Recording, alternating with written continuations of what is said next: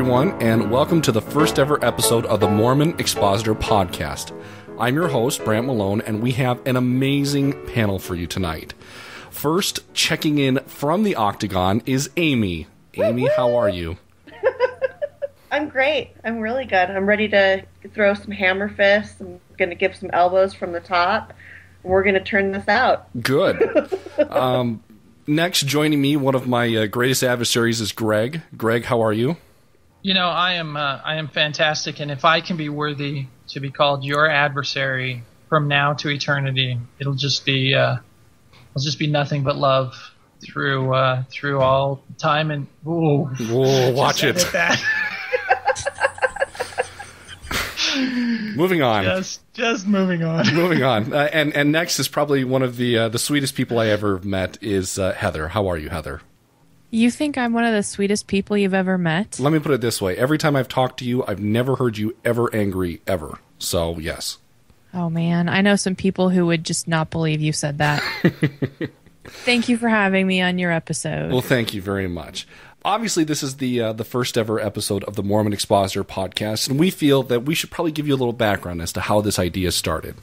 Uh, ever since we found out that Mormon Expression was going to be retiring or going on a hiatus, uh, a conglomerate of us regular panelists and contributors to the Mormon Expression got together, and we felt that there was still so much more to be examined and discussed within the world of Mormonism. As a matter of fact, we felt that an exposition of Mormonism would be the best option. Uh, we're all very familiar with the Nauvoo expositor and the concept of an exposition as far as exposing something hidden or exposing something to public view. However, I think there's another definition of exposition that we've all agreed on really fits our goal and vision for the podcast, and that is a setting forth or meaning of intent, a statement of rhetorical discourse intended to give information about or an explanation of difficult material. So that's kind of our goal. We're generously funded by the Whitefields Educational Foundation, and we really do have some great podcasts lined up. We decided that the best course of action for our podcast would really be to showcase the many different sides and views of Mormonism that we all have. So we've got a rotating panel of hosts that'll all give many different perspectives. Uh, those hosts include myself, uh, Amy, Greg, Matt, Heather, Clay, Troy, and we really wouldn't have any of this without the guru of web design and the lord of the internet, Richard Harris. Um, I, I really don't want to spend the entire episode talking about how amazing our podcast is going to be, but do you guys have any thoughts about the the vision for the podcast in the future, or or how we came up with this? All I can throw out there is that our name comes from an inside Mormon joke, basically. It's not meant as a threat, and that we have no intention of putting together exposes to make the church look bad. It's just a clever title given the history of the church. And we're certainly not going to scatter anybody's type. No, no, I would hope not. As a matter of fact, it, no, it's interesting that that you bring that up, Heather, because when we were originally talking about what kind of name should we have, we threw around this idea of the Mormon Expositor, and we did some Google searches. And if you ever want some some light Sunday afternoon reading, go ahead and look up the Mormon Expositor. It used to be a periodical back in Salt Lake City, and it was kind of a kind of a tabloid type periodical. And just go through, spend 20 minutes and read some of the things that they talk about on there because it's it's either high comedy or uh, extremely cringeworthy. But it's it's it's really interesting stuff. I think I'm pretty sure anyway that l- just like the Nauvoo expositor, the Mormon expositor only had one issue. At least that's all I found. Mm-hmm.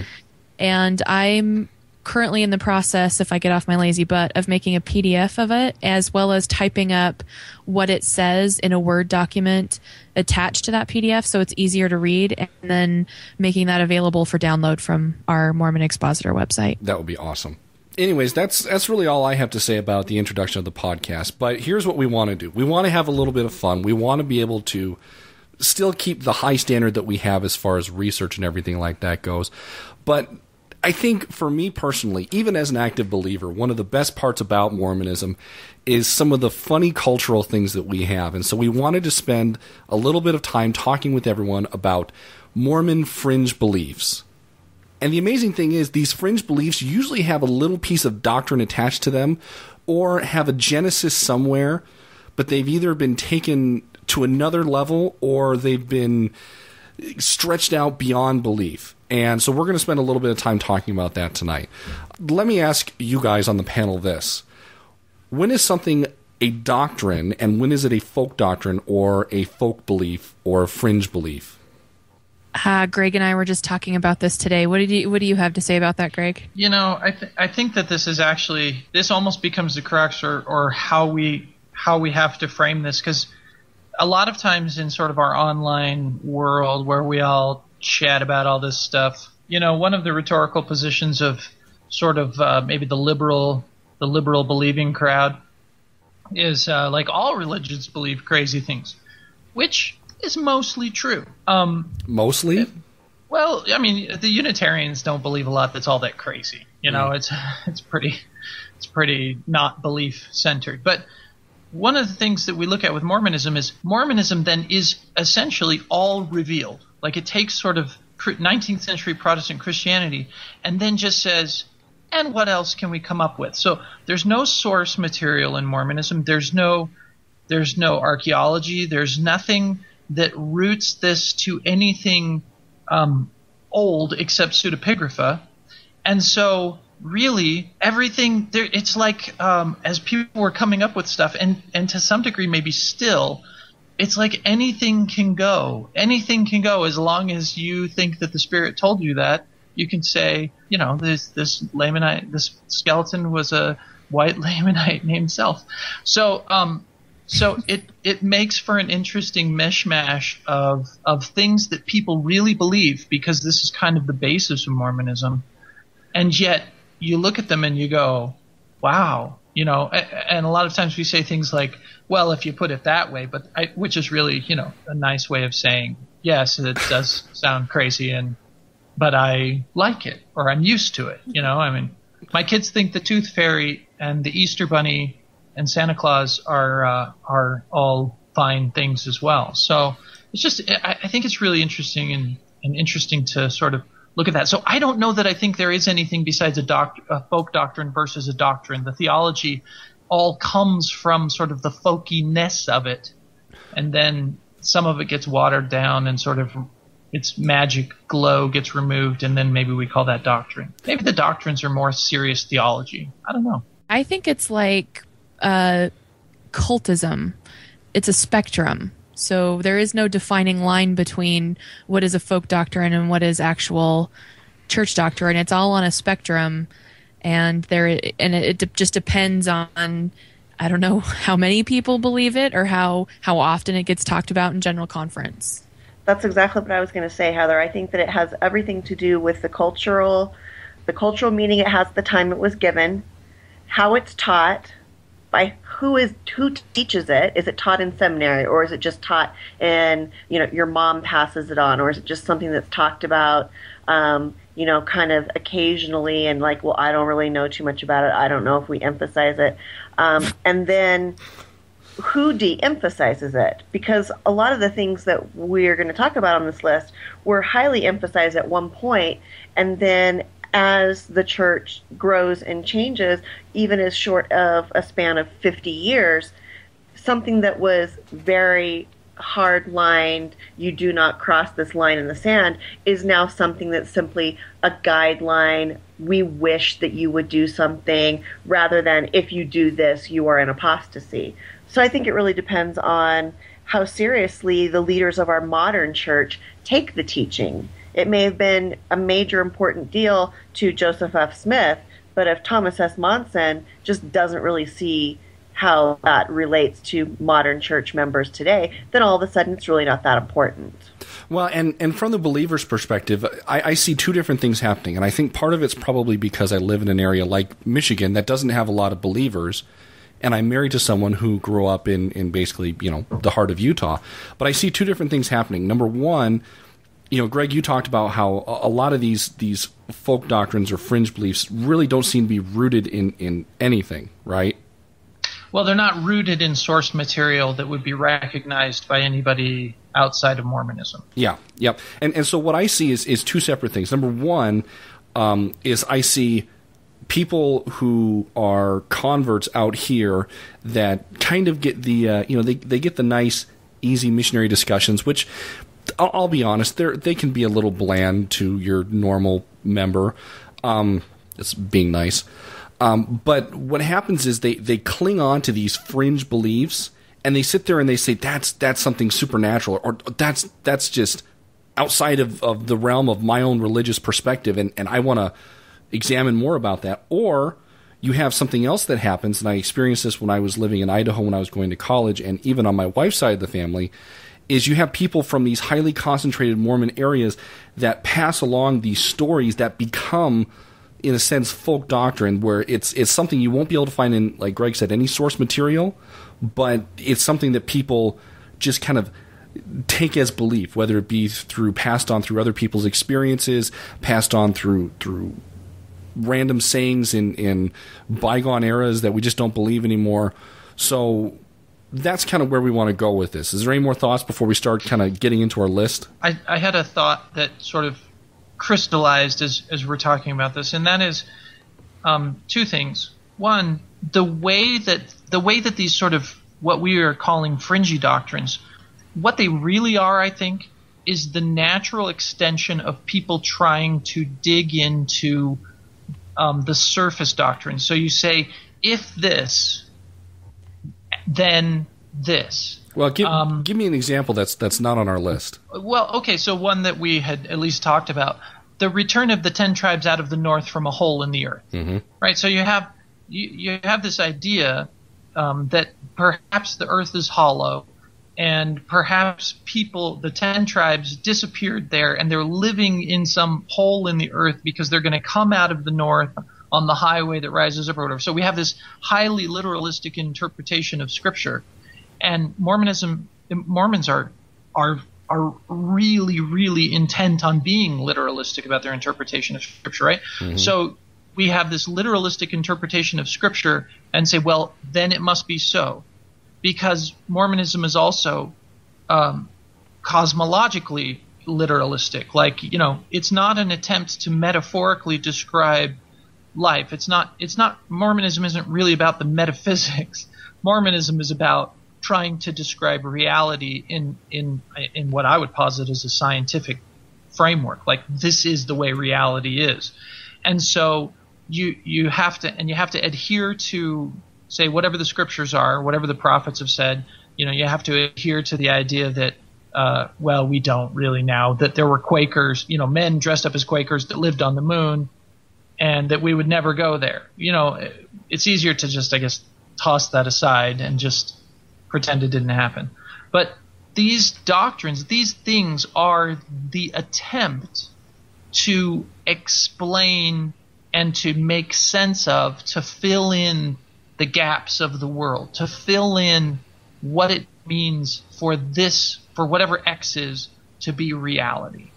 Um, I'm, I'm a bit nervous here greg because i'm actually agreeing with you well, and I that mean, that scares I'm the crap out of me Well, you know. so I, I want to say one other thing. In 2012, what the problem is, is that we are getting further and further, just as a world, not even really as a society, but as a world, we're moving further and further away from magical worldviews. And so we, you just clash against the, the magical thinking that inhabits the beginning of Mormonism and really up through I mean, really up through our lives and probably in, in large part now. But as it comes online and as it comes into conflict with a, a more rational world, it, it it gets real uncomfortable. And people have to think, you know, people people start to say, well, that's folk doctrine. We're not we're not really going to have our own planet. No, that's totally what we believe. You know, I mean, and the, you guys talked about that in the in the Book of Mormon doctrines missing episode. We totally believe that. That is, and in fact, that's a great example. That is an extension of the idea of um, becoming exalted. Is that, of course, well, by natural extension, you would have your own planets to to populate and to make three horned de- reindeer or whatever you want. You know, I mean, you know, where you get into this idea of well, on my planet, I'm going to Unicorn. do this. Bring Yeah. back unicorn. Yeah. My garments are going to be uh, thong underwear. Oh, you know, I mean, gosh. That's I know people who very seriously believe in the church and very seriously believe they're like, well, on my planet, we're going to have thong underwear for garments because I don't like these. so, uh, and I'm down with that. I have no problem with that. Anyway, I just think it gets more uncomfortable. I think it gets more uncomfortable to to try and posit this stuff, and so it just is easier to. You can't get rid of it. It's totally there. Well, it's just let me- easier to not talk about it. Amy, Let hit me me. just add something that to kind of, I don't know necessarily to lighten it up or to even simplify something. What Greg is saying, not that I think it could ever be simplified, Greg, but um, I think that a lot of what we're going to talk about today and a lot of what we experienced growing up is what I called sacrament meeting doctrine. Stuff that someone talks about in testimony meeting or someone mentions in Relief Society or a seminary teacher talks about a personal experience and then it kind of gets taken and it gets morphed. And as we're, Greg, as you were talking, um, the perfect example came to mind, and it's not on our list, but um, is now part of the Mormon experience, or at least part of the Mormon conversation, and that is Elder Larry Lawrence's talk last year on allowing your kids to have sleepovers Mm, yeah. and and whether or not that was a good idea. Now, some of you in this group know that I was raised in an area where I actually went to school with Elder Lawrence's kids, and his wife was my seminary teacher for two years. Now, he was what we called a power Mormon before he was called into uh, his position in the church, and I think what is he in Russia or something now? Um, he was, you know, well respected, well known. They were very wealthy. Um, he had a whole brood of gorgeous children, and anytime Elder Lawrence spoke, or even when his kids spoke in sacrament meeting, everyone really paid attention.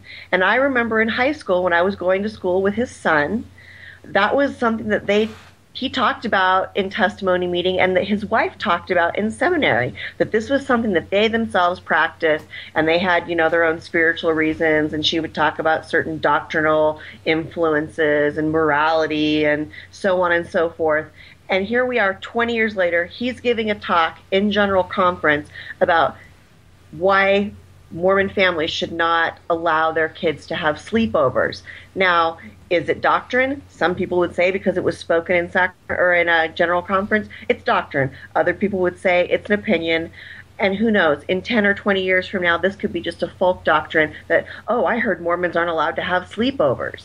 Well, oh, well, it does have some, you know, historical context because so and so used to talk about it. But I'm telling you, watching that turn into a declaration from the pulpit in general conference was really funny for me because it's nothing simply than a thought, an opinion, an idea, something that one person, one family took it on as their kind of like their family motto. Their kids weren't allowed to have sleepovers, and now lo and behold, it's in, you know, the ensign talks for everyone to read and ponder and decide if they're going to incorporate that into their own family belief system.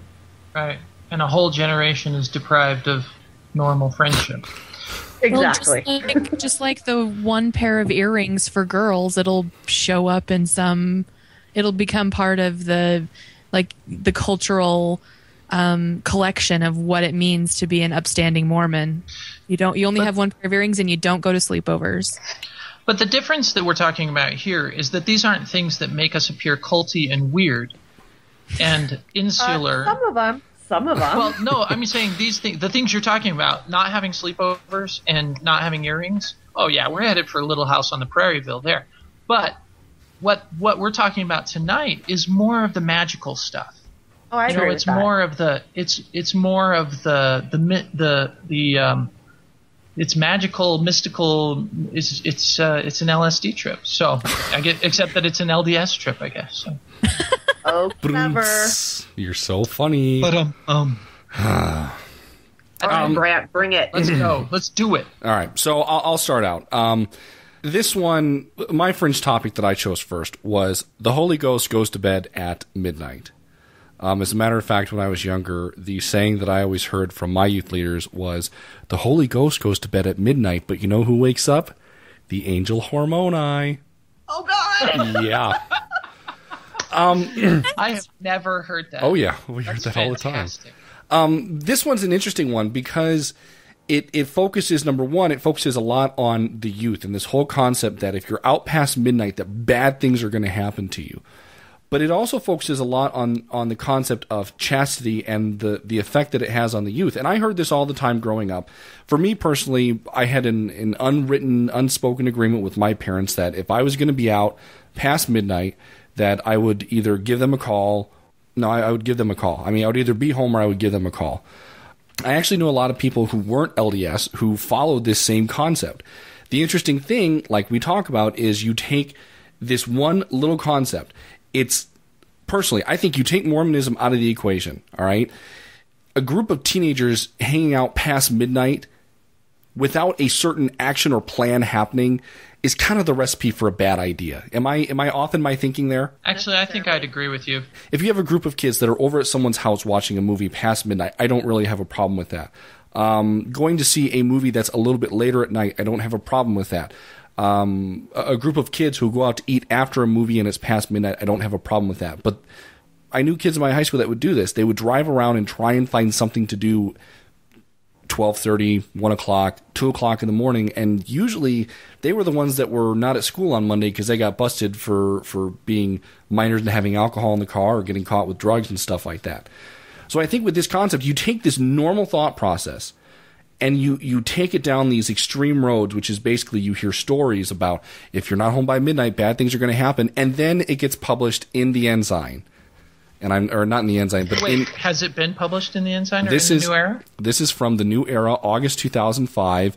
Charles Wow. W. Dahlquist II from a youth devotional given on May 12th, 2004 at the Salt Lake Tabernacle.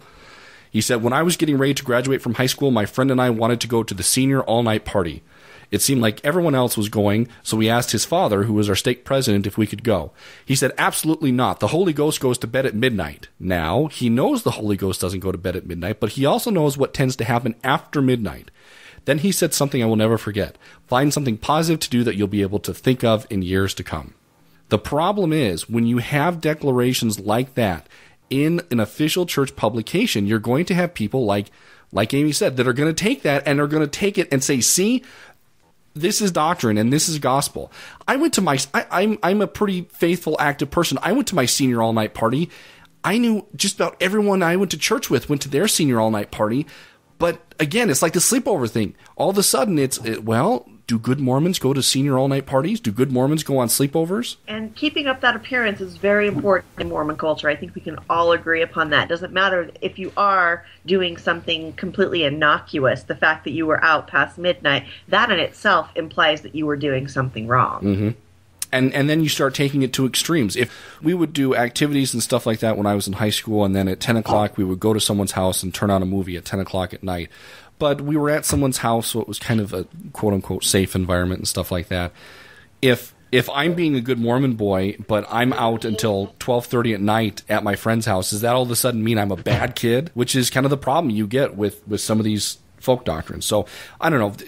As someone who works with the youth and and um, you know, I, I bleed for those kids. This is one of those things that it frustrates me every time I hear a parent bring this concept up. Well, I, so one of the problems that I have with it is that it implies a flippancy with our theology that is that does not prepare you in any way to be serious about uh, to be serious about beliefs later on. Because, okay, so if you if you go down the road of this and you say, well, really, the Holy Ghost goes to bed at midnight, like God goes to bed at midnight in what time zone? I mean, like none of it none of it makes any sense. And it doesn't make any sense on the surface, but it also says we're willing to say stupid things in support of our agenda. We never And I think we never thought it I was think that serious that- though. We never thought it was serious. We always we never thought like literally the Holy Ghost would go to sleep. We always thought this is this is the way that it was described to us that the the um, the effect of the Holy Ghost in in uh, strengthening you against the temptations that are out there is less powerful after midnight than it is before midnight. That is the dumbest concept ever. I mean, oh, okay. So, do we actually think that God like loves His children and wants to protect them? So, uh, this is one of those places where you look at the Mormon concept of God and go, "Wow, you are the worst parent ever." at the hmm. times when you're at the times when your children actually maybe need need you to step in and be helpful, you're like, "Nope, I'm gonna let you die." You know, I'm, I'm it's just it's so disregarding of anything that would be called like maturity. I, it, to seriously posit that the Lord gives less influence just because the clock has ticked forward a, min, a minute, because uh, this actually this doctrine is kind of an interesting one for me. The one and only spiritual experience that I cannot deconstruct is meeting my wife, and uh, and and we won't get into that here. It's been said other places, but I met her after midnight, and um, and I I cannot um, without just going to circumstance and and I don't and I am motivated to not go to circumstance and we'll probably talk about some of those motivations later on and sort of how that plays into these things. I cannot come up with a rationale for uh, except to say that God brought us together and he uh, and he very clearly did it after midnight. And uh, and so I always just kind of thought, eh, he doesn't go to bed at twelve. um, and I'm I'm probably good with that. I, I just want to thumb my nose at people who are that stupid. So fair fair enough. I, I guess harsh. Yeah, it is harsh. Um, it's hard being an apostate, Heather. I mean, it takes a lot of takes a lot of energy and vitriol. Listen, one day I'm going to bring you all back. Oh no, that's true. Yeah. Yep, you're going to do all our work for us. Damn you know, this is the perfect example of using religion and as the excuse to get your kid to do something. It's like saying if you're not good, hmm. Santa Claus isn't going to bring you any presents. Yeah. Like, why not just have a frickin' conversation with your kid and talk to him like a human being and be a realist and be reasonable and rational and discuss things and, and, and see how they feel about it? I mean. Well, I can answer that because you're dealing with teenagers who aren't reasonable, who aren't rational, and frankly, who, and I'm just imagining the way I was as a teenager, teenagers are going to do what they want to do and they're going to find any way to kind of weasel around and do that. That's the whole point of being a teenager is understanding the concept of boundaries and rules and things like that. Yeah, Brad, and they're going to roll their you. eyes when you I agree with you to the to the point of, you know, an underdeveloped frontal lobe and all that kind of stuff. However, I really disagree with dumbing down our parenting and making up stupid things like that because we don't think our kids know how to be will know how to behave in a certain situation because you set them up to fail when you give them these kind of things. Well, I, I, I do agree with you there. If you have to start throwing around these ultimatums like like this, then and and I'll put a caveat in there. If you're throwing around ultimatums like this seriously, within my family, this whole thing was always a big joke. But I knew oh, in my family it was it was serious. Yeah, I knew the, people it who took it seriously. All right, we've beat this one to death. Heather, you have any thoughts? I was just going to say I think it's an example of uh, the greater um, culture of controlling one another's behavior within the church. It remind it, it reminds me of when I was deciding whether or not I wanted to go to a church school for graduate school and I asked a friend to find out who was attending BYU Idaho to find out for me if BYU required the same standards of graduate students. And when I chafed at what she told me, she she said things like well, you wouldn't have a problem sharing your bedroom if you weren't going to do something inappropriate in it. So it's just, it's one of those, you know, wh- why do you want to be out past midnight? There's no reason to be out past midnight unless you want to do something torrid, yeah. that kind of thing. Yeah. No, I, I agree with you. All right. What about, uh, what about your uh, topic, Heather? Okay. This, um, this is one that actually, um, is why I came up with wanting to talk about this. And it could be that my mother is the only person on the face of the planet. Oh no, and Chris Heimerdinger who actually believe this.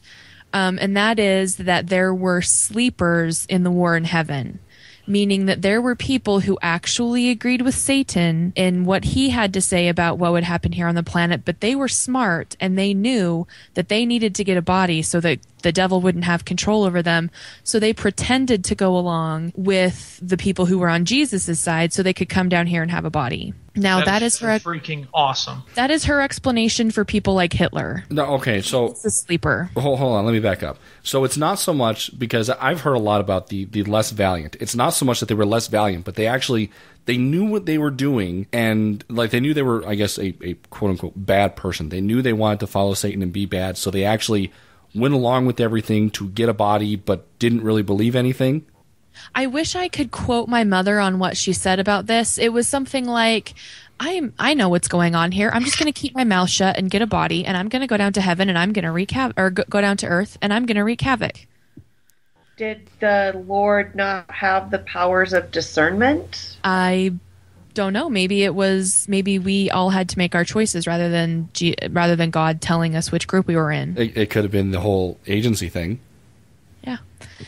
I just That's when my awesome. mother It's just awesome mother- on so many levels.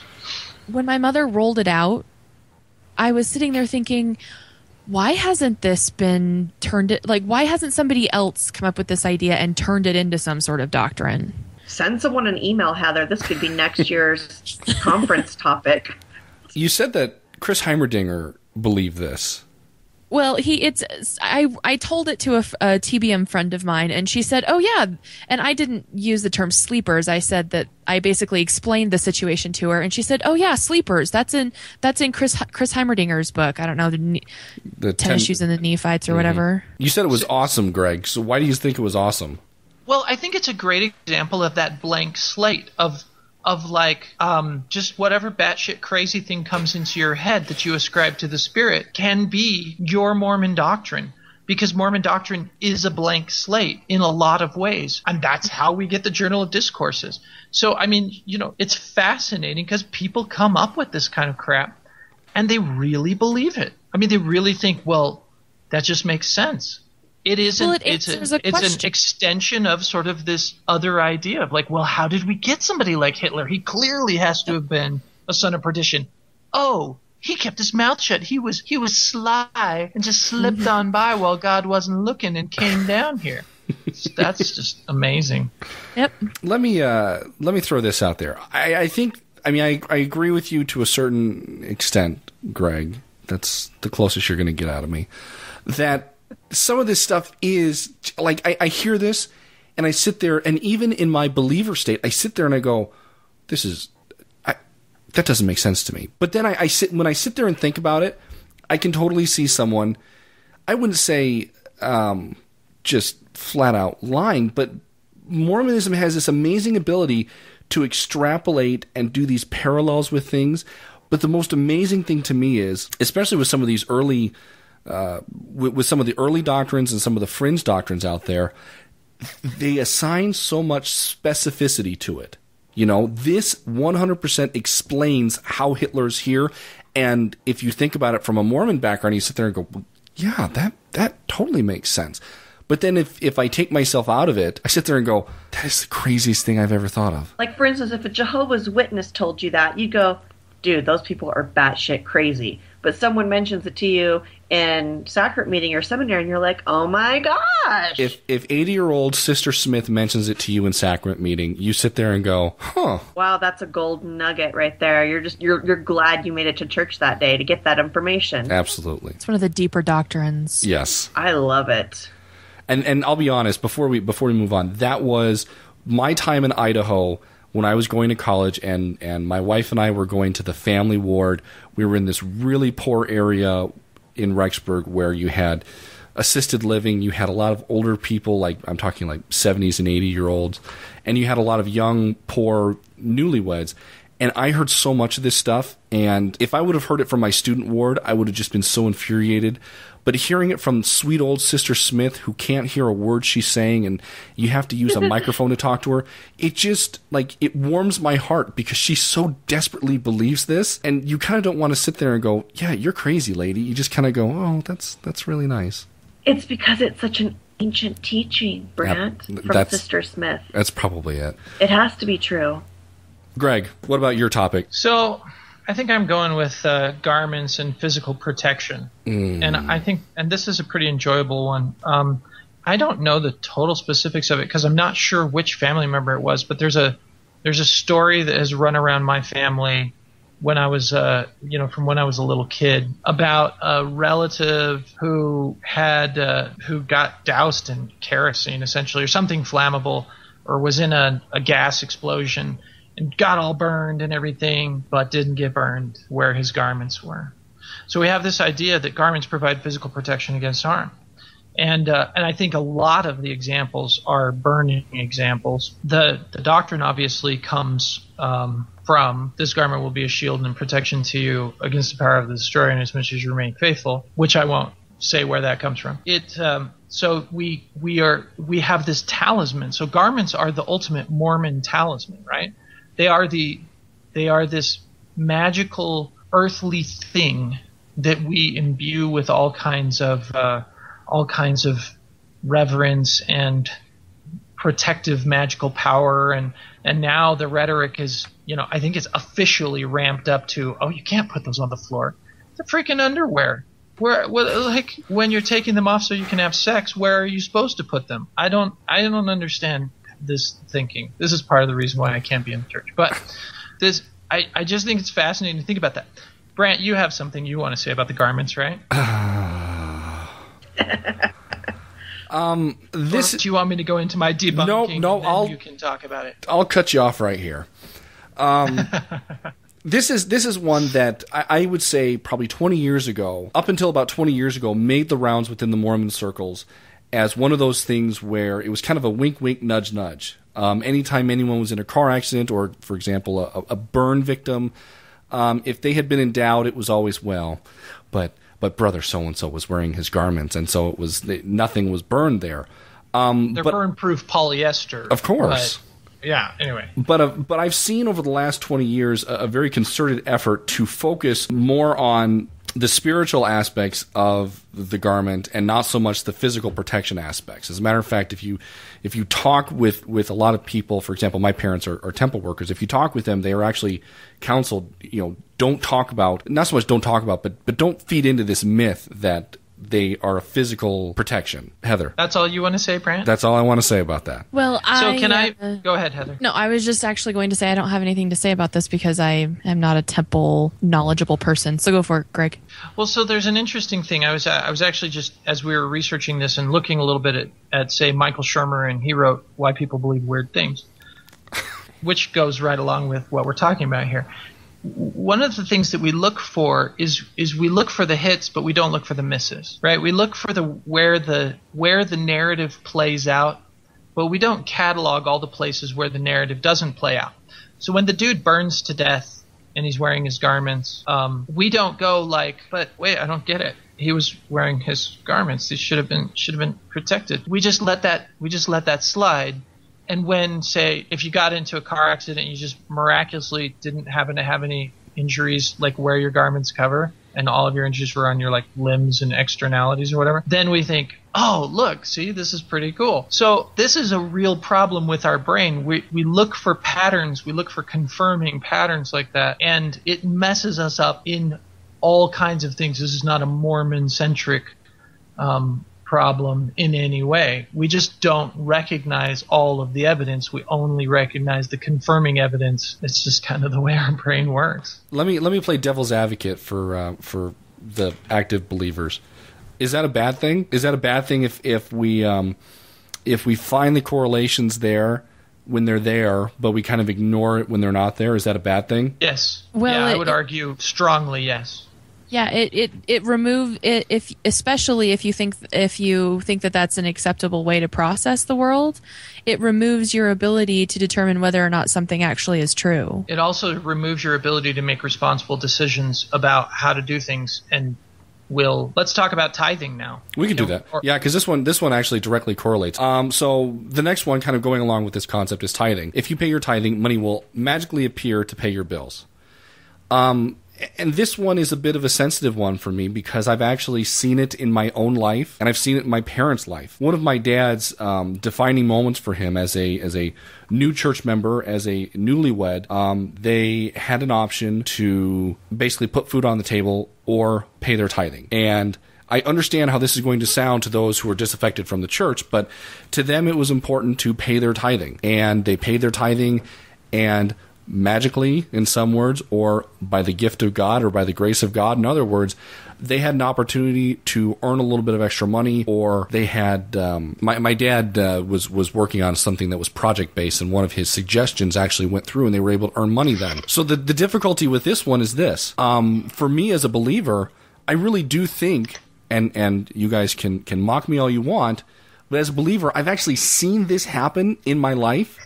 And that's why I was asking that question because on one side, I've seen it happen positively for me, where I've been in a position where, depending on the corollary you want to make, I paid my tithing and something positive happened out of that. I was able to pay my tuition. I was able to pay my rent or something like that. I was able to put gas in my car to get me to work. On the other side, though, I've been in positions where we paid tithing and all of a sudden I've got $5 to last me two weeks. So that's why I was sitting there trying to say, you know, it, as a believer, but someone who, who frankly gets the snot kicked out of them by Greg for, for thinking this way, I'm, I'm kind of torn because I see it happen both ways. Uh, the, the second way, the second way was I've paid tithing and nothing has happened. And the men- words, and you're and you're flat broke. yeah, I mean, I've been in a position where where I I paid tithing, and uh, I then paid my rent, and I just had you know I, I was living off of ramen for for about a week when I was in college, and the thought process that I had at the time was, what why isn't why aren't I finding forty dollars in my in my jeans pocket so I can go eat something other than ramen?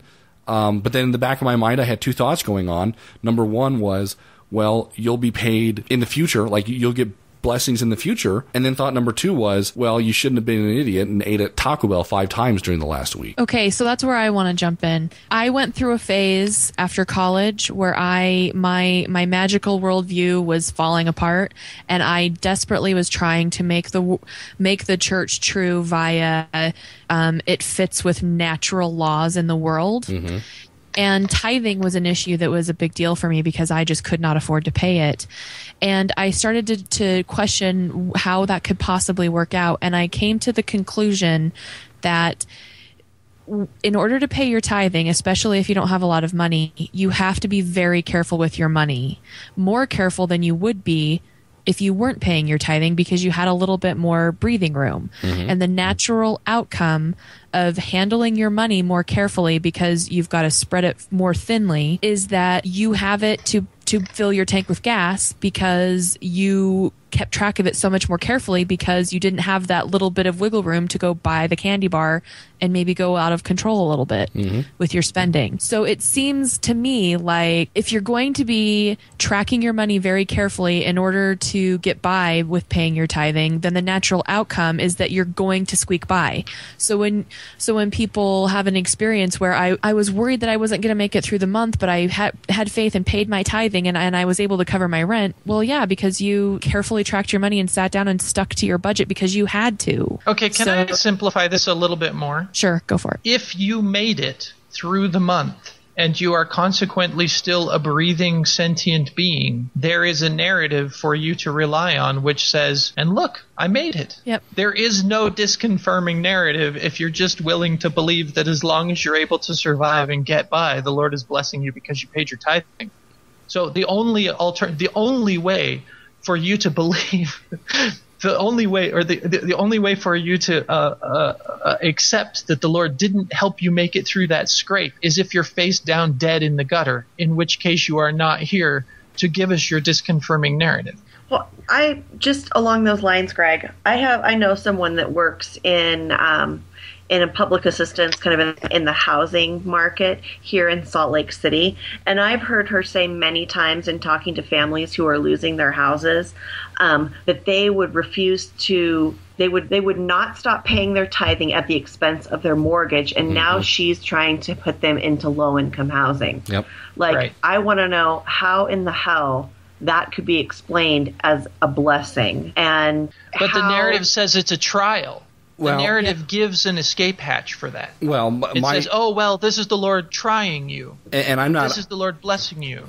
Or I'm- you made it. You're still alive. He blessed you. You ha- you're taking breath. and I'm not trying to be a jerk, but but this is probably going to come off really jerkish. But to a believer, they would probably respond if they looked at that situation. They'd probably respond and say, "Well, you're not living within your means. You overextended yourself. You need to cut back somewhere." Yeah, Mormons, that's their second favorite pastime, and that's judging the spiritual situation of others based on their physical lot in life. Which, if we were What's to their do, first favorite pastime?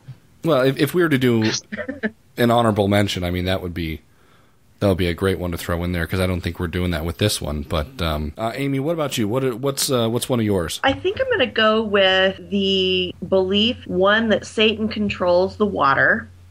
And for me, growing up, um, and Greg, you and I had talked about this, I guess, last week, and you weren't so sure it was a belief till your wife said that she had heard it. So thanks for the way in on that one. But that the Satan is able to control the waters um, at a higher degree on Sundays. And of course, I think all of us have heard that Satan controls the waters and that it's dangerous for missionaries to be in water.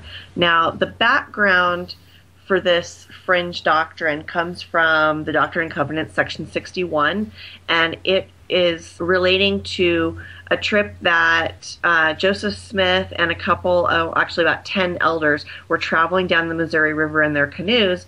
And on the third day, W.W. Phelps had a what is what he called a daylight vision, and he saw a destroying a destroyer riding upon the face of the waters. And the section goes a little something like this.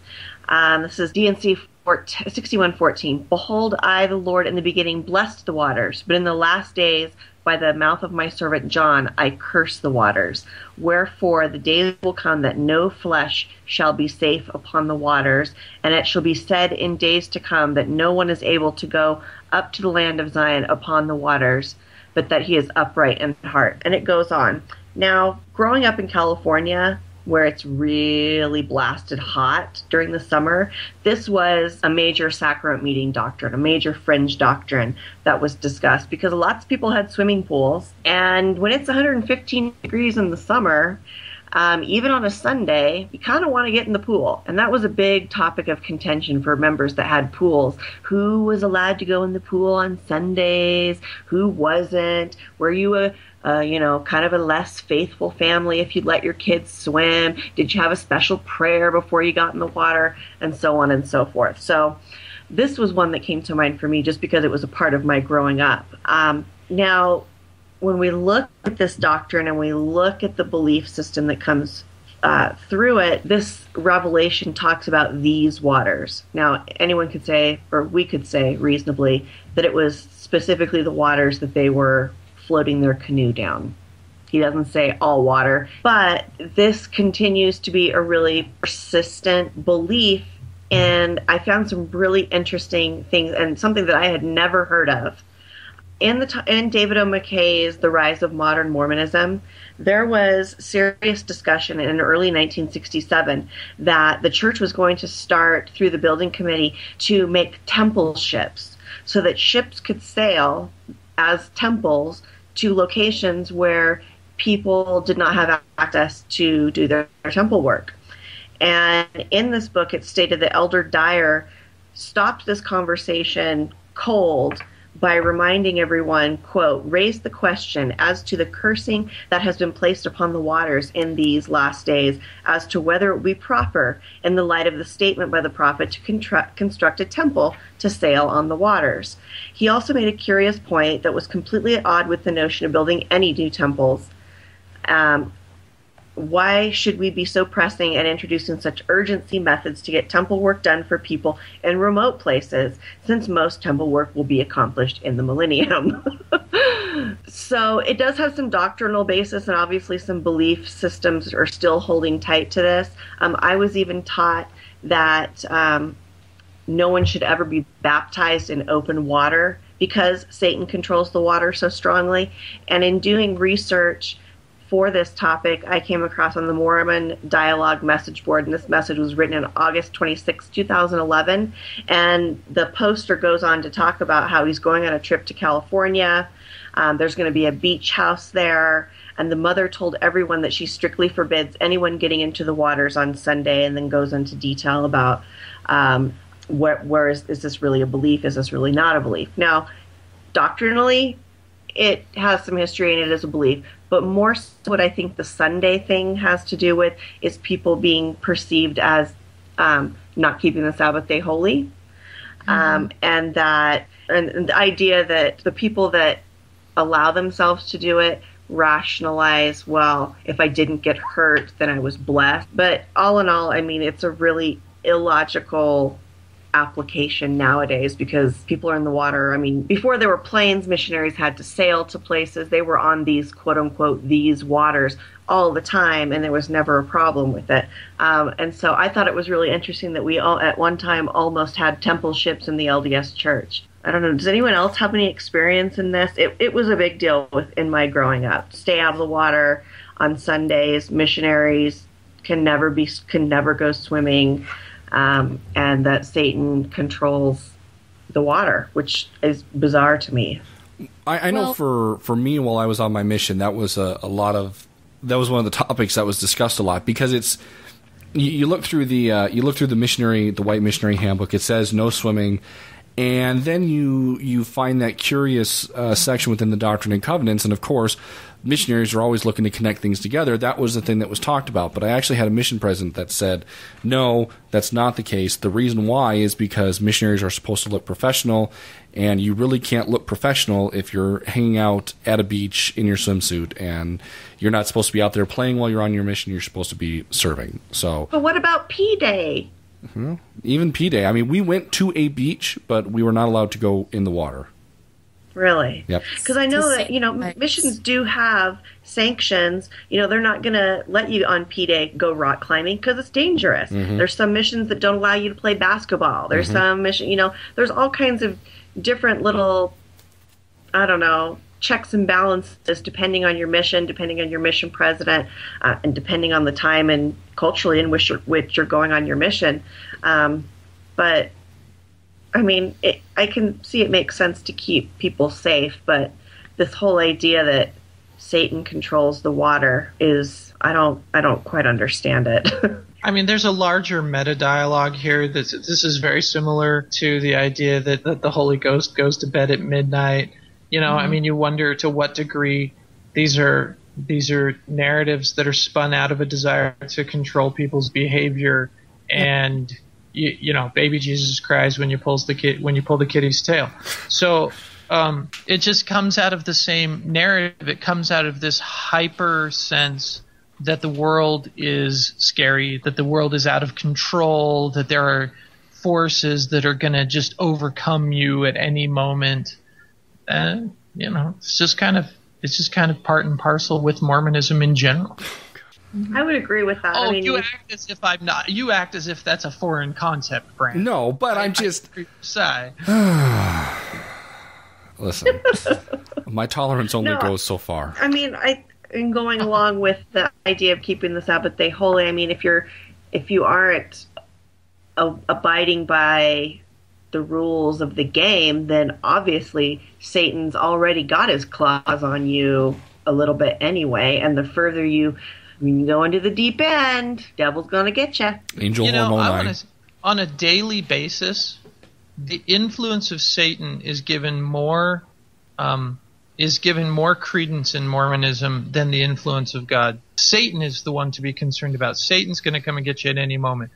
God, God can be. He's he's off building worlds somewhere. He's not going to come to your help. Satan is going to get you. That's the real Wait, wait, wait, wait. quotidian influence that's pumped in Mormonism. God is too busy helping you find your keys. Don't forget.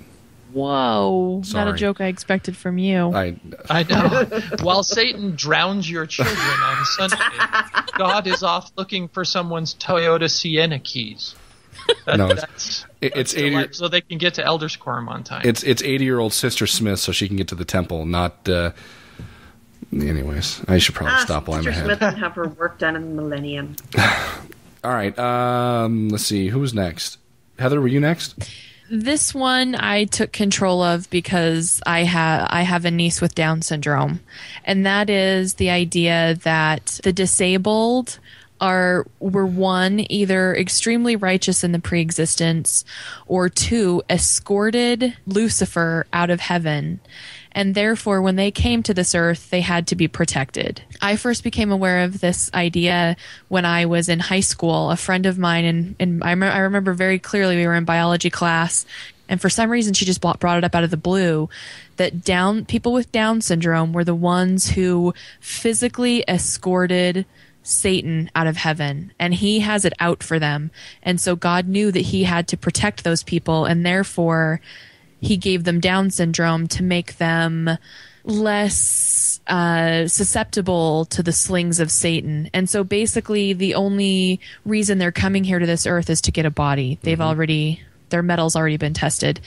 And um, I did a lot of looking around online to try to find a source for this. And this may be one that is truly a Mormon urban legend because the the one source I can find is this idea that a Down syndrome boy was allowed to have uh, uh, patriarchal blessing, and in the patriarchal blessing, the guy says all this stuff. The the patriarch says all this stuff about him, and then at the end of the patriarchal blessing, for a short period of time, he is not handicapped and he is able to speak to his parents as a fully functioning teenager.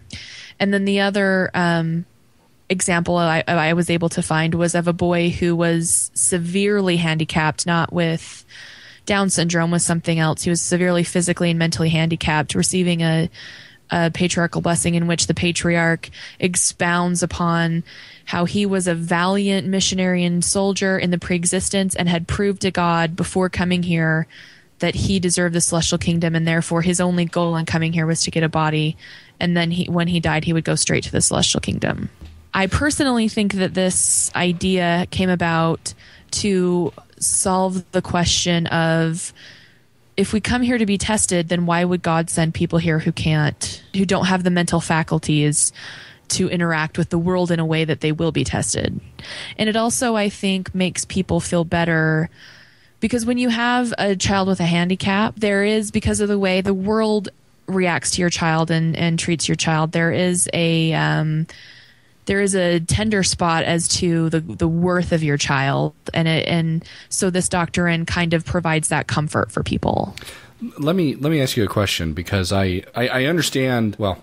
All right, I'll just ask it, but but know that I'm asking okay. it out of a out of a duty of a host, not because I'm an insensitive prick. Okay. Okay. But why?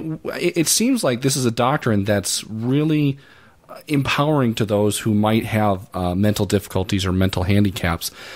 And you said the it was something that was a little sensitive to you. Why would it be sensitive to you if it was something that was empowering to, to those who were suffering from it? Um, because one, I think that it put a lot of pressure on my sister. When Madeline was born, my sister said to my mother with great fear, she's a very choice spirit and I don't know I don't know if I'm worthy of her. Mm. And I think it put a great deal of pressure on her. And two, the other reason is that before I lost my faith, Madeline is the most awesome person I've ever met on this planet. She is my favorite human being.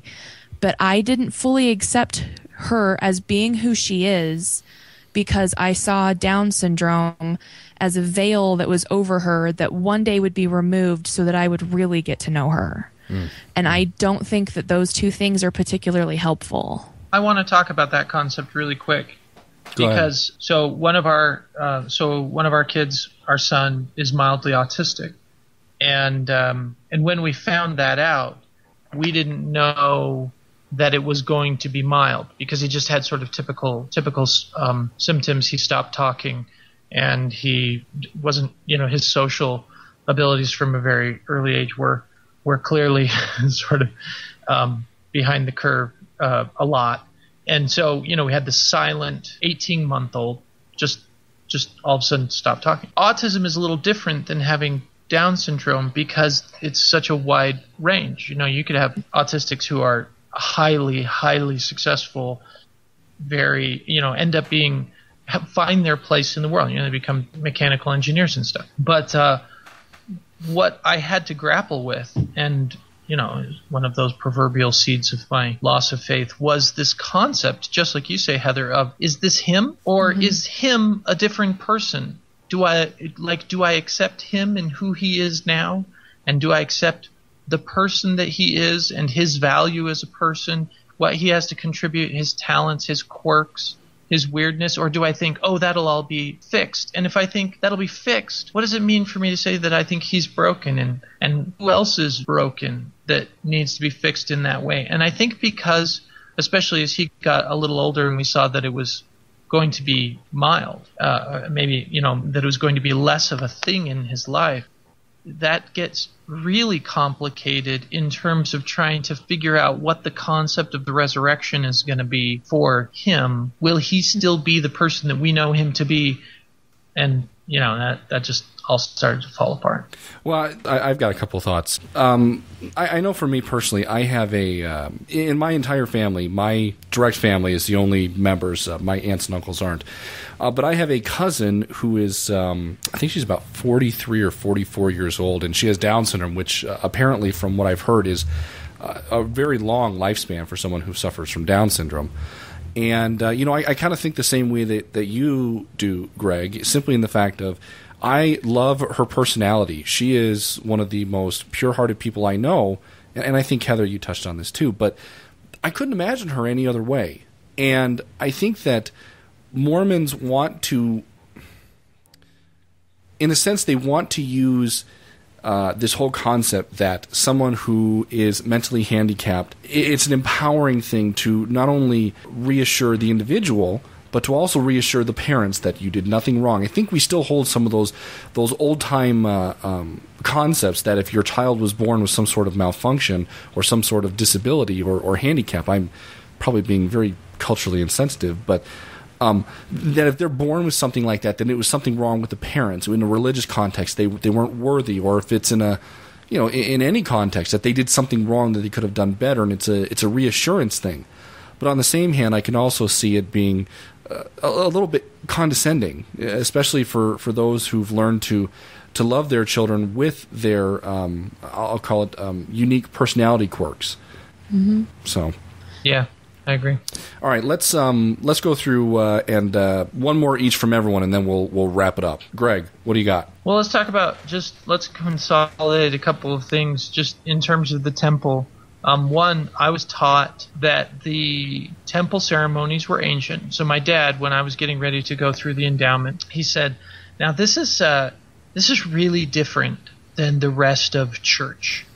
And uh, it's really symbolic. It's it's really old, and it's got all of this sort of it's it's just really different than sort of everything else in Mormonism. And he said, and the reason for that is is because these ceremonies are really really old, and they they date back to essentially ancient times, and um, they and they uh, come up through sort of King Solomon's temple and everything, and and any connection then to masonry in the temple ceremony was just well the masons get it from king solomon's temple and we get it from king solomon's temple and from these ancient ceremonies.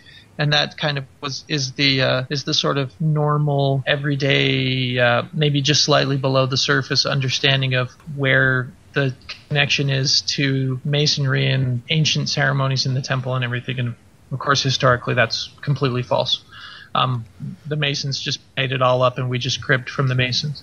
Um, then the other thing that is, I think, a really, really common belief, and that I, I think Mormons take this very seriously, is that Jesus, the person of Jesus, his body, goes and walks through all the temples like if you were in the temples at night or something jesus would be just strolling through in a very in a very dignified celestial way but be strolling through the temple that he goes and hangs out there that they you know, we say they are literally the house of God on earth. I was trying to find out who said that. Someone said something Kimball like that. or Benson or something. What? I was going to say someone said something along those lines. Yeah, I was. I, I don't. I have no. I, and I was trying to ask around some of the groups today, and I asked Mike Tannehill, and he couldn't remember, but he said, "Yeah, I've totally heard that." Um, that Jesus has visited all the temples, you know, and that there's all these stories, there's all these apocryphal stories of of going to the temple and or and talking to people who are like, oh, you know, Jesus was there. I think there's a story I want to say is President Kimball comes out of the room in the temple and they're like, President Kimball, do you want to turn off the light? And he says, no, that light, he can turn out him, you know, he can turn out the light himself or whatever. and, uh, and so we, have you not heard that? I've heard that one. totally right so um so we i mean we take this seriously we take it really seriously until you get a little bit disenchanted you take it really seriously that on thursdays jesus is in the center chair you know and um i- that there that that's the whole that that's the thing that's the thing about being a mormon is we got the we've got the the, the hotline to the hotline to jesus The bat phone. i mean you know i wasn't going to go there Well, I, I'm. it's cool that you did I was just say I'm the believer, so I can I can tell you what we can go to and what we can't go to. Yeah. So what? So what do you think about that, Grant? How how do you regard this concept of Jesus' person walking through the temples on any given Tuesday? Uh, hmm.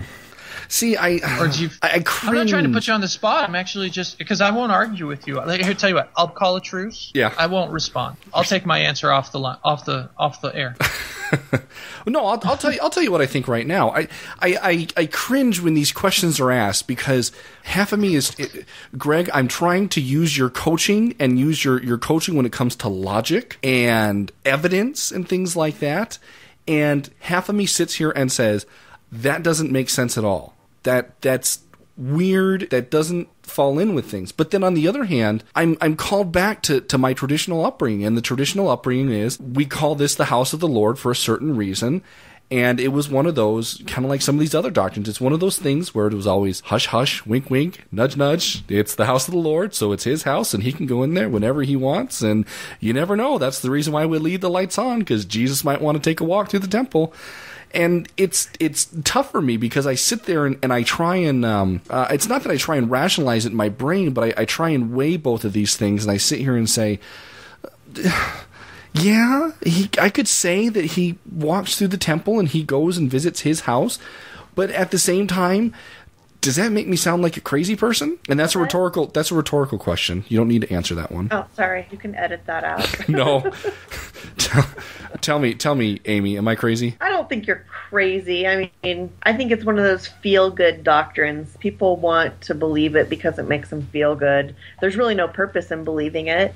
You know, like what is accomplished by believing that Jesus walks through the temple? Because my first question is, why leave the light on? He's Jesus. Can he see in the dark?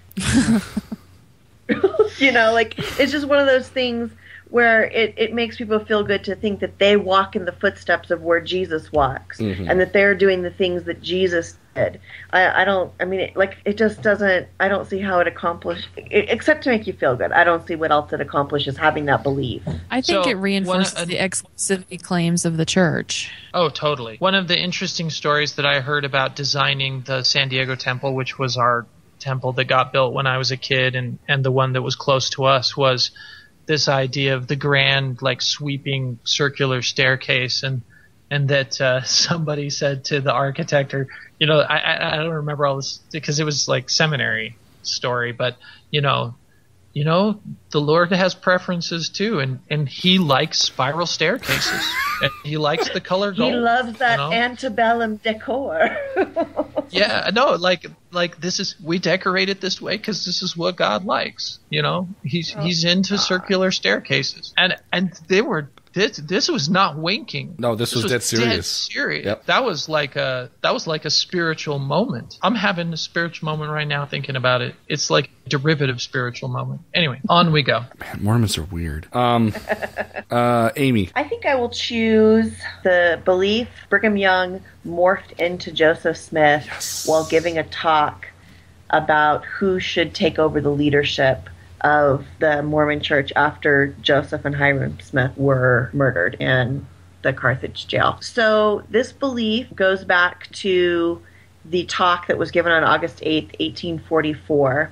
And it was kind of a, I wouldn't say a debate, but kind of a, a stump speech, if you will, between Sidney Rigdon, who had traveled back from, I don't know, like Vermont or something, um, to have this conversation with the members of the church and Brigham Young.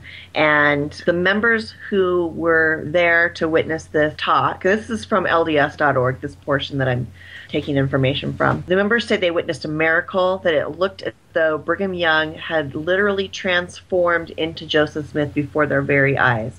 He looked like Joseph Smith, he sounded like Joseph Smith, his mannerisms were like Joseph Smith, and the, the people that saw this vision believed that this was in response to who should be the next prophet.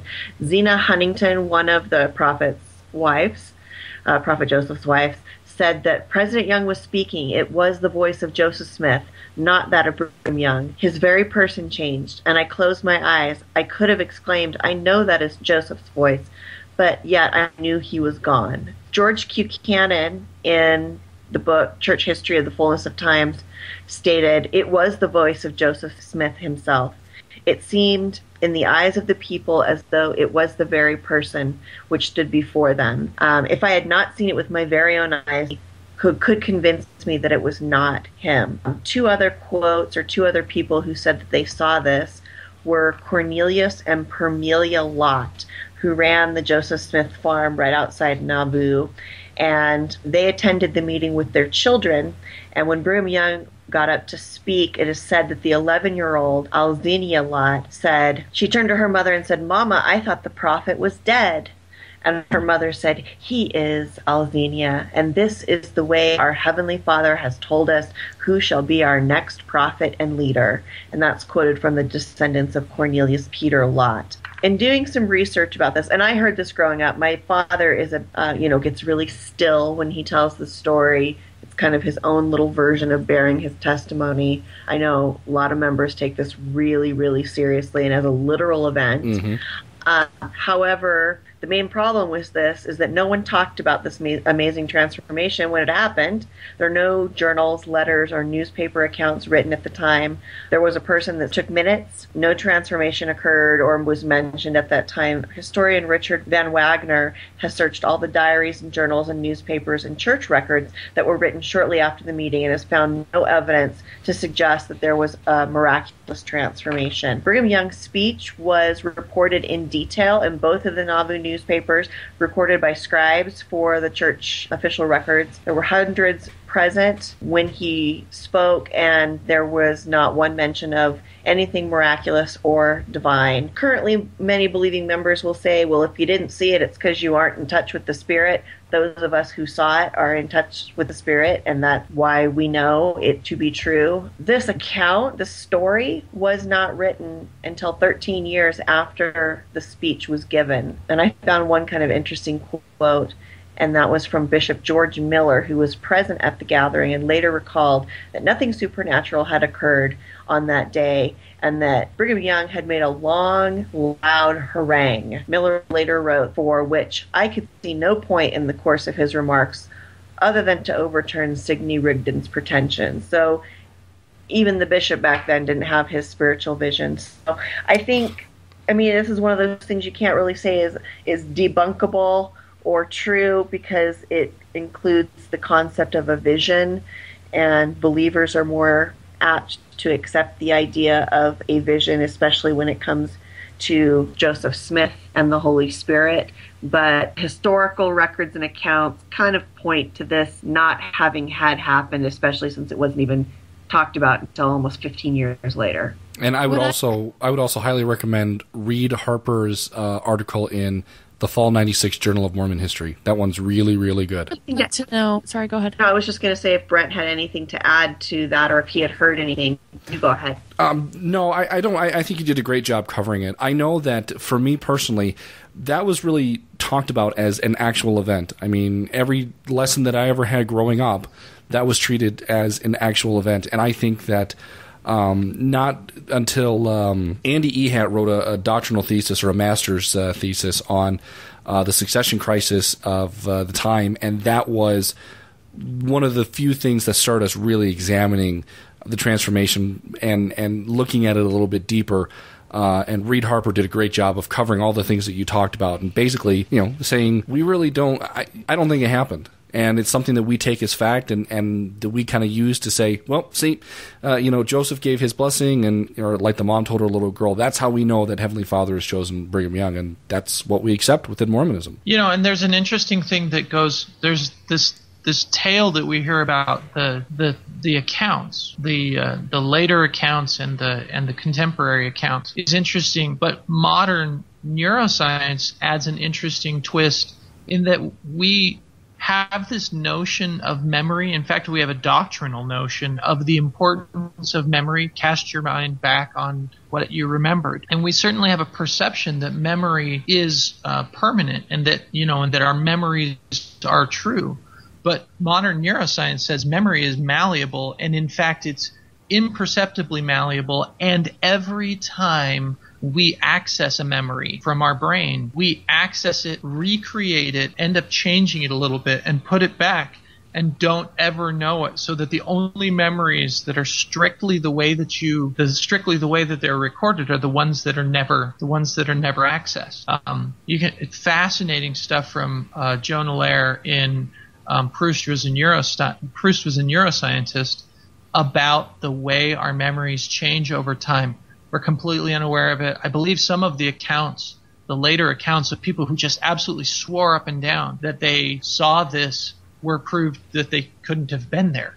And yet they had a memory of the event. It had been it had been put in you know, it had been crafted in and they sort of created a memory out of whole cloth. There's so many interesting things mm. about the way that memory is complete is is uh, not completely, but the way that memory ends up being unreliable absolutely hmm. fascinating stuff. Heather, it sounded like you had a thought. Well, I was I'm just curious what was going on 13, 15 years later or whenever these accounts started to come up that was that were prompting people to invent this memory. Um, Do we know? I the only thing that could Didn't, be seen as different is the Saints had just settled in Utah and maybe there was some maybe second guessing or hesitation or worry or wonder if this was the right thing we should have done and maybe that's why people started talking about this or asserting that this happened to kind of solidify and justify their choices and to kind of shut up the naysayers. That that's about all well, I can. And now that you say that, I remember doing the top ten apostles that were excommunicated episode on Mormon Expression,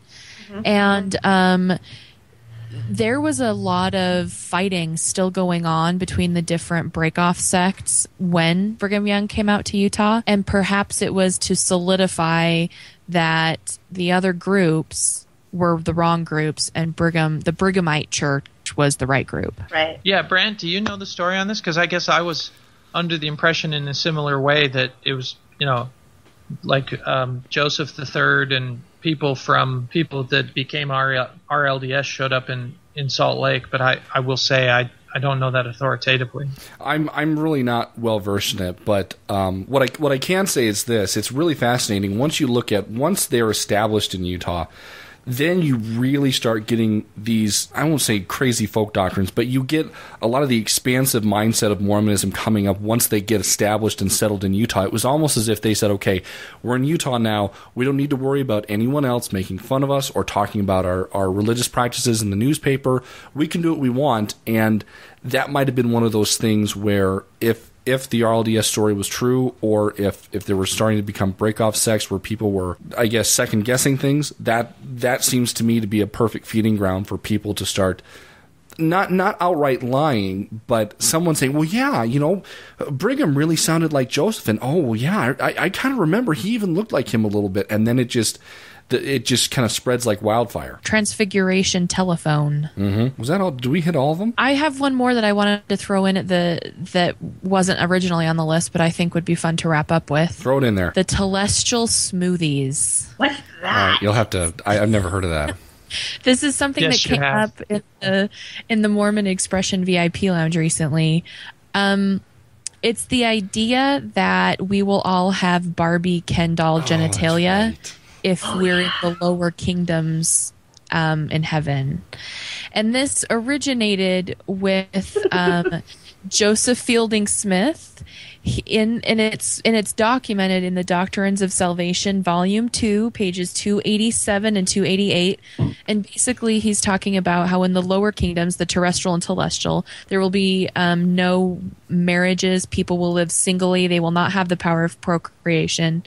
And very specifically, it says, I take it that men and women will, in these kingdoms, be just what the so called Christian world expects us to be, neither man nor woman, merely immortal beings having received the resurrection. Not the perfected resurrection, because you can't go sticking your naughty bits in other people if you are not going to be Exactly. celestially procreating. Exactly. They're not naughty bits. Uh, all right. You're procreating, Greg. I, I will. I will tell you this.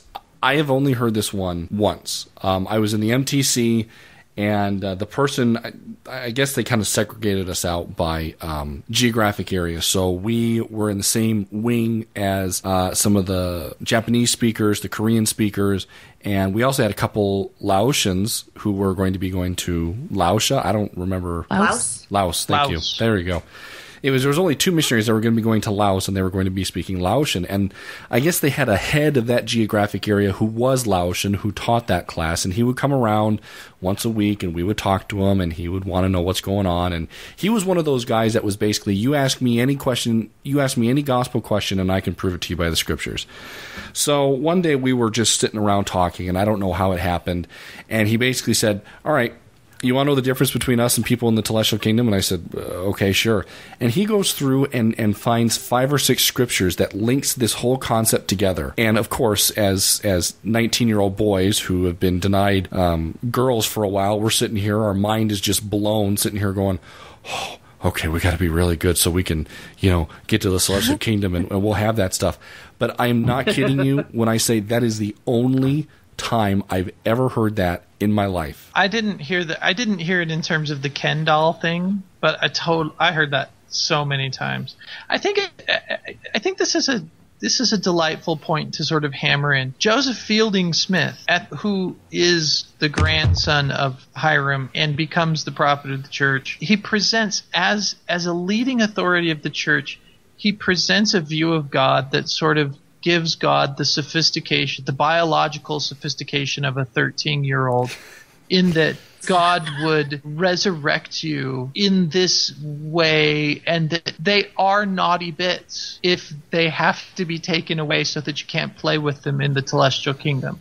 Like, and it, the the the lack of sophistication of that worldview is staggering. Now listen, listen. To think that that's a prophet of God is just I unbelievable. Yeah, you are bitter tonight. listen. I know what he's thinking. He's worried that if all of oh, this is going to be taken so out of context. He's worried that if all of you go to the celestial kingdom and have those naughty bits, you guys are going to sit around like a dog, just licking yourself the entire time.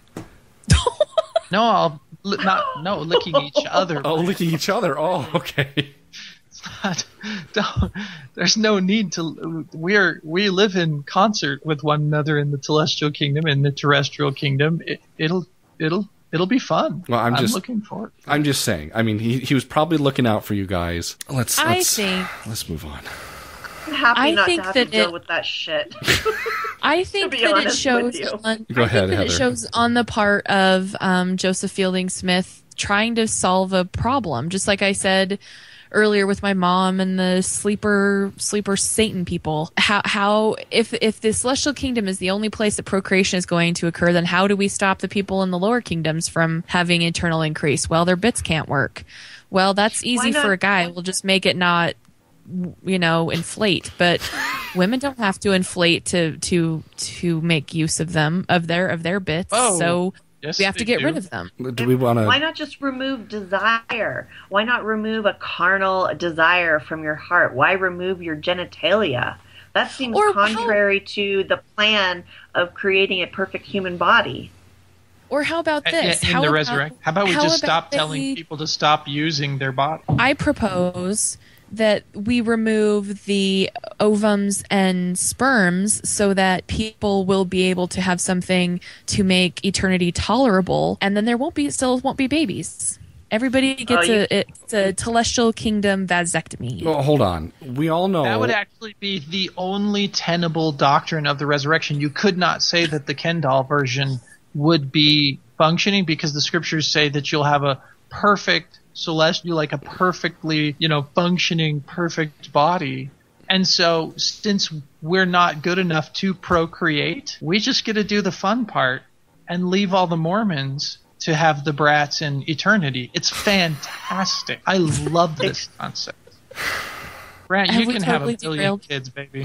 totally happy for you to do that. Listen, I'm going to spend all eternity just singing praises to God, and yeah, Not having carnal thoughts. I you know I think we should probably end this.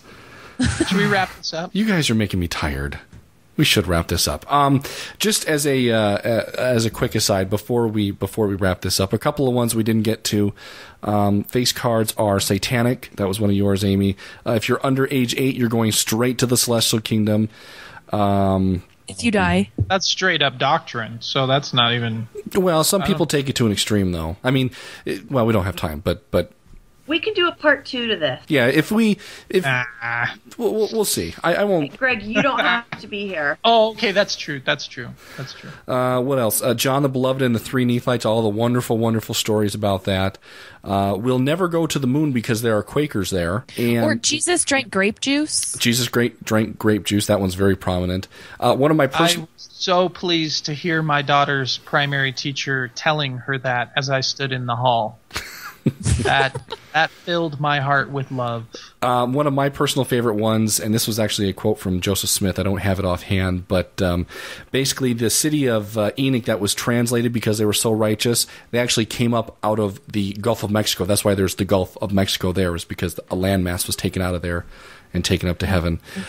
Uh, I've but heard that one. but I, I think that you know listen uh, for for those of you who are a little bit disaffected from the church i'm sure you could sit back and laugh at all these things and sit here and say oh this is these stupid mormons and the stupid things they believe and gosh we were so gullible back then and and even for for people like me who are a believer i kind of sit here and you know when you write everything out in a one sentence thing it's a little hokey but this is you know, I'm going to echo John Larsen a little bit, and I never thought I would echo John Larsen, but I'm going to do that.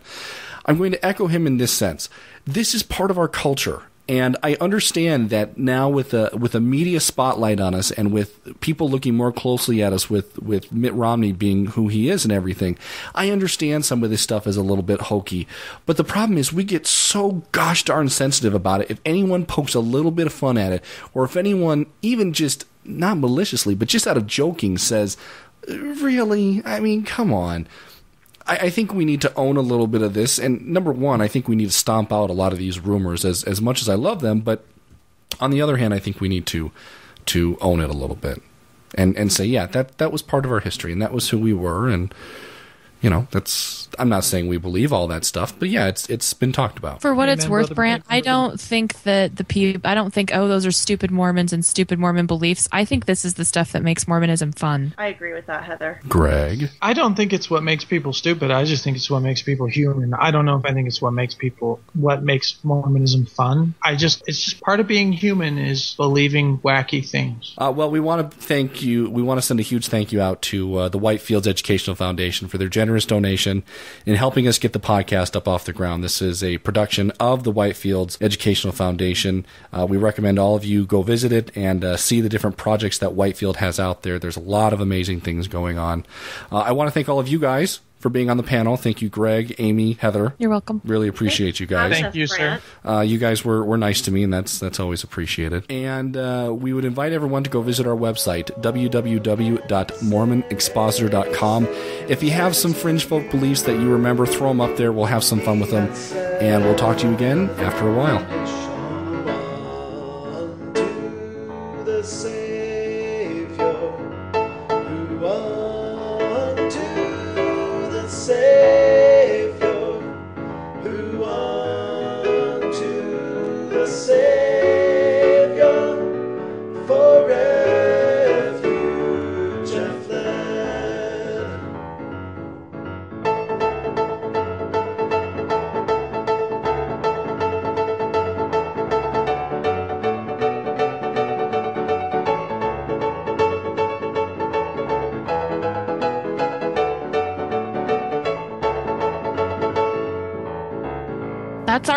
Our first That was so- that was so super fun. Yay! That was fun.